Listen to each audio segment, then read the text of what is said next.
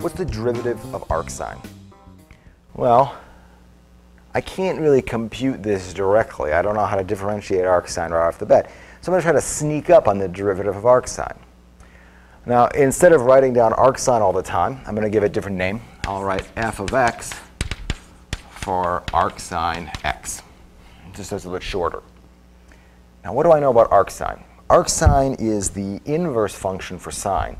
So at least for a range of values of x, f of sine x is x.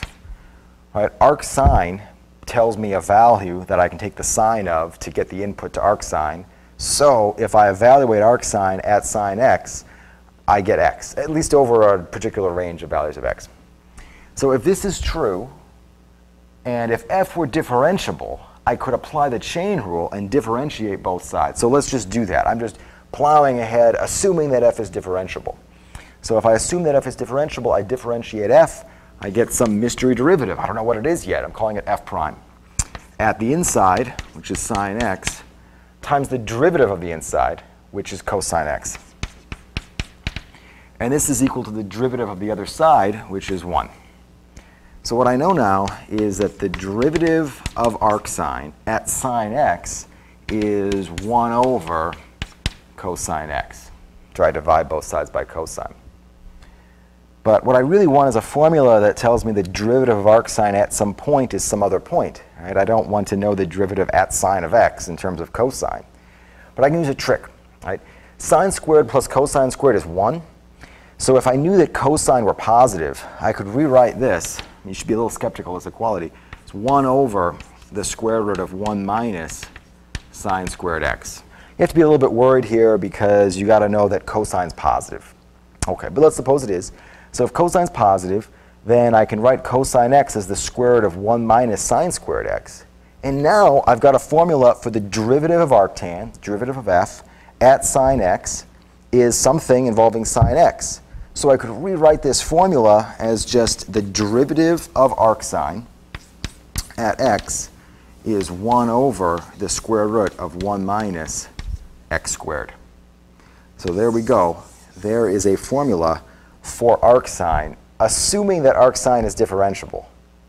Right? Because what I did is I just wrote down a function you know, that I knew to be true. I mean, I know that f sine x is x for certain values of x. And I just plowed through differentiating it, assuming it was differentiable, and then I figured out what its derivative would have to be if it were differentiable. But note that I never actually verified that arcsine is differentiable. I'm just telling you what the derivative is if it were differentiable. So that's perhaps a little unfortunate. All right, but nevertheless, uh, we're going to use this, and uh, this is in fact the derivative of arcsine. Now we know how to differentiate arcsine. Let's try to differentiate arc cosine. We could do that in the same way. Right? F equals arc cosine, do the chain rule trick. We get a formula for the derivative of arc cosine, assuming it's differentiable, and it is.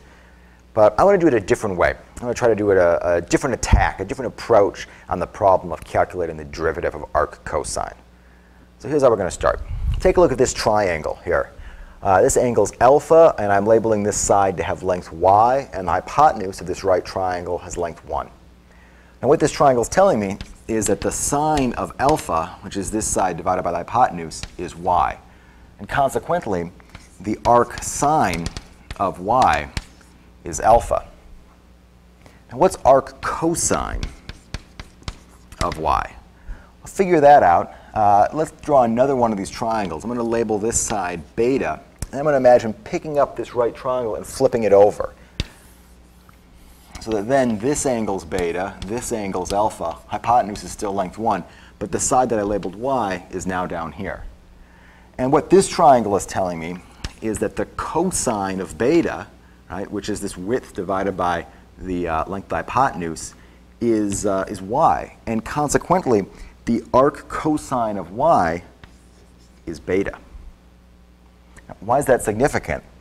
Well, this is a right triangle, and the angles add up to 180 degrees. So alpha plus beta add up to 90 degrees, or pi over 2 radians.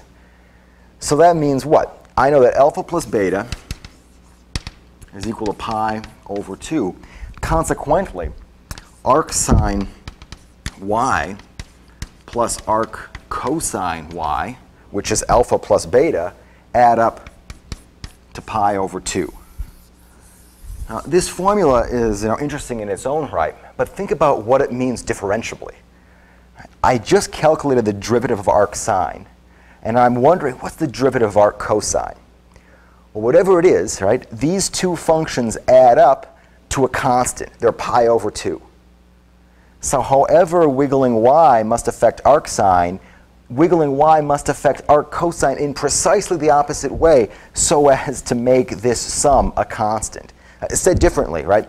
The derivative of this side has to be the derivative of this side, but the derivative of this side is 0.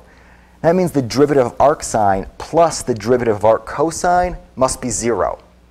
That means that the derivative of arc sine has to be exactly the negative of the derivative of arc cosine. And since we know the derivative of arc sine is 1 over the square root of 1 minus x squared, that means the derivative of arc cosine is negative 1 over the square root of 1 minus x squared. My goal right now is to differentiate arc tan x, but that's too hard. So instead, we're going to sort of sneak up on the derivative of arc tan x and figure out the derivative without explicitly knowing it to begin with. So here we go. Uh, make this a little bit easier, I don't want to keep writing arc tan x all the time. So let's give it a different name. Uh, let's just call it f. So f of x will be arctan x for the time being. Now, what do I know about arctan? Arctan is one of these inverse trigonometric functions. It's the inverse to tan. So I know what f of tangent x is. Well, as long as x is between minus pi over 2 and pi over 2, the arctangent of tangent is just x. So this is a really great thing. Right? Now, if, if f were differentiable, I could use the chain rule on this. So let's just pretend that arctan is differentiable and see what happens. So in that case, I differentiate this using the chain rule. I get the derivative of f at the inside times the derivative of the inside. The derivative of tangent is secant squared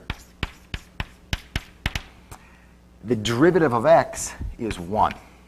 Right? So I differentiated both sides of this equation. f tangent x equals x. The derivative of f tangent x is f prime tangent x times the derivative of tangent, which is secant squared. And the derivative of x with respect to x is just 1. Now I'll divide both sides by secant squared x. And I find out that f prime of tangent x is 1 over secant squared x. Now what do I do? I, am trying to write down the derivative of f. f is arctan, and I want to know how to differentiate arctan.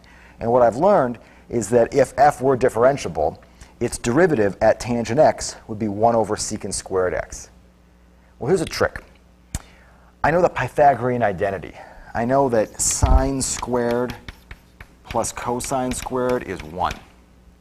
So if I take this identity and divide both sides by cosine squared, I get that tangent squared, right, that's sine squared over cosine squared, plus cosine squared over cosine squared, 1, is 1 over cosine squared, that's secant squared.